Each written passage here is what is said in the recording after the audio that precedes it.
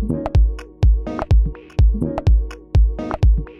To get the clearest views of the cosmos, scientists may have to travel to one of the coldest and most remote places on the planet. Telescopes on Earth are already set in remote places away from bright city lights, and are usually built at great altitude, mid latitude, and low humidity sites. But a new study in the journal Nature says Antarctica's massive ice dome called Dome A has even better conditions. A team of researchers led by the University of British Columbia used a telescope that was fully automatic at an un unmanned station over seven months, which sounds nice, seeing as air temperatures around Dome A can drop to about negative 103 degrees Fahrenheit. They measured the turbulence caused by the Earth's atmosphere that affects image quality, also known as seeing. At 26 feet above Dome A's summit, researchers found seeing was five times better than observatories at mid latitude sites. Researchers say this is because Dome A has a thinner boundary layer, which is the part of the atmosphere where most turbulence takes place.